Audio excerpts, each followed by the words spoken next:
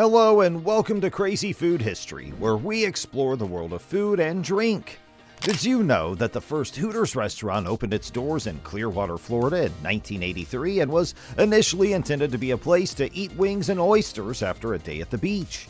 Today, we explore the incredible journey of how Hooters became a cultural phenomenon, from being the hottest spot in town to a forgotten chain. So, attention and get ready to be surprised by the captivating story of one of America's most iconic restaurants, Hooters Restaurant. Are you interested in the origin story of the world famous Hooters restaurant? To tell the truth, it began with a group of six business people who, on April Fool's Day in 1983, had an outrageous concept that would revolutionize the food sector and transform it forever. Lynn D. Stewart, Gil DiGiannantonio, Ed Droste, Billy Ranieri, Ken Wimmer, and Dennis Johnson made a leap of faith without any prior expertise and without a defined plan, and the rest is history. In spite of the fact that the odds were stacked against them, the savvy business people refused to take a chance and instead concentrated on building a fun and pleasant environment, which resulted in Hooters becoming an instant hit. Do you want to learn more about the history of this superpower in the fast food industry? Well, stay with us and be ready to have your sides split with laughter as we share some facts that are both amusing and fascinating. The very first Hooters restaurant ever opened its doors in the middle of Clearwater, Florida, on the site of a rundown nightclub that had been there for many years. Don't be fooled by the site's rundown appearance. It was this location that established the model for the franchises that came after it. But how did they manage to pull it off? By making fun of their predecessors in the funniest way that is physically possible. The first Hooters restaurant had a fake cemetery, complete with the corpses of prior unsuccessful occupants.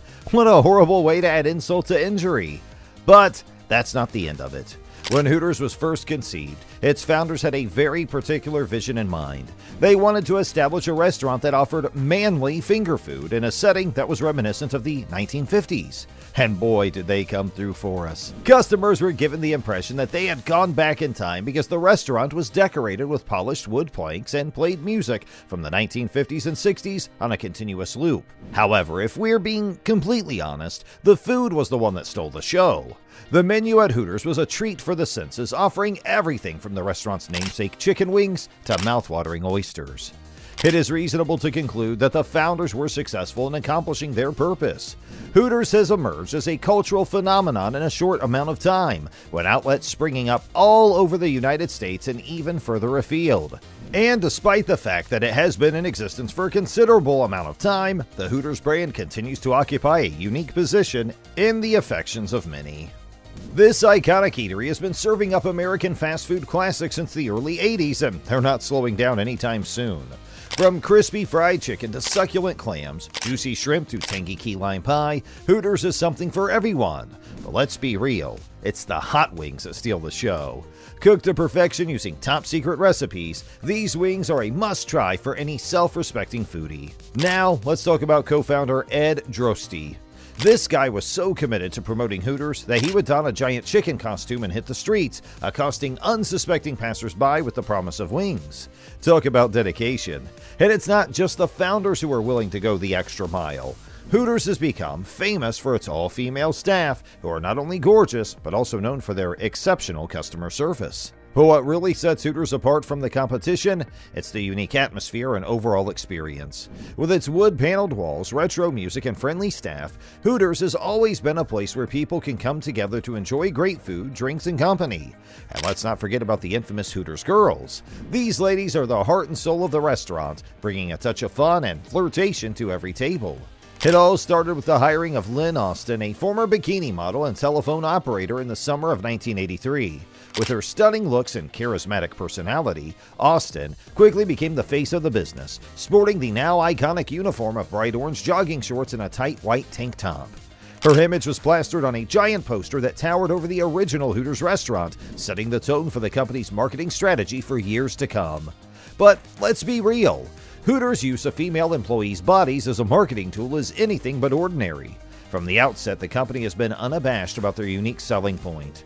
In fact, the restaurant's official website openly declares that the most important element in the Hooters experience is the beautiful and vivacious Hooters girls.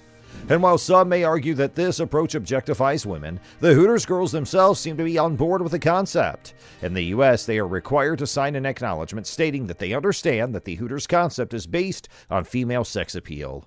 Love it or hate it, there's no denying that Hooters' unique marketing strategy has been wildly successful. As the 1980s progressed, Hooters experienced increasing levels of success. The company was brought to the attention of the general public by an advertisement that aired during the Super Bowl and featured a person dressed as Austin holding a pitcher of beer.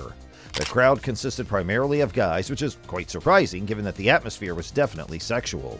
In 1985, Hooters released their first ever girls calendar in an effort to capitalize on their one of a kind selling pitch. The calendar featured provocative images of a number of Hooters staff, including Austin, among others. The restaurant reached out to Playboy in addition with the goal of gaining additional publicity for the establishment. Playboy struck a contract that allowed several of the Hooters girls to appear in the magazine's centerfold. The partnership was fruitful, and as a result, Hooters' reputation as a venue where one may see attractive ladies was enhanced. Despite the criticism, the Hooters model had become popular. Its primary appeal was sexual, and this aspect, barely masked by the facade of humor, drew investors from all over the world. Throughout the 90s and into the 2000s, Hooters struck a number of lucrative advertising partnerships. This included a deal to provide entertainment for the United States military and a sponsorship of the NASCAR Racing Series. As a result of the brand's popularity, many imitators opened up, some of which are still going strong today, including Twin Peaks, Spice Rack, and Tilted Kilt. Despite the naysayers, the Hooters model has effectively spawned a new eating subculture. There have been bumps on the road on the way to opening over 400 restaurants in over 30 countries. Three of the company's original founders perished in a plane disaster in 1995. The tragic loss made the company stop and think about its future. During Hooters' zenith in the early 2000s, the company's arrogance overrode its better judgment. Various business decisions, such as the Hooters airline that didn't last, were made by executives who should have known better. Throughout the flight, Hooters girls served drinks and food to the Hooters Air passengers. How the Hooters chain got its start remains a contentious topic. Many have complained that the company presents adult content in a kid friendly environment. The company boasts that their products are suitable for consumers of all ages. Yet, according to company policy, female workers are expected to accept that the work environment is one in which joking and innuendo based on female sex appeal is commonplace. In light of this, it's tough to see how old justifications can survive. Some people may think a company is not empowering if it requires women to act like compliant mannequins to keep their jobs. The ladies who work there are not to blame. The culture that allows this to persist is. Hooters has never been a place for lighthearted fun, as seen by the discrimination its employees have endured. But the story of Hooters is far from over. This chain is still going strong, with new locations popping up all the time. Thanks for watching, and don't forget to like, share, and subscribe, and let us know what other food related topics you would like us to cover.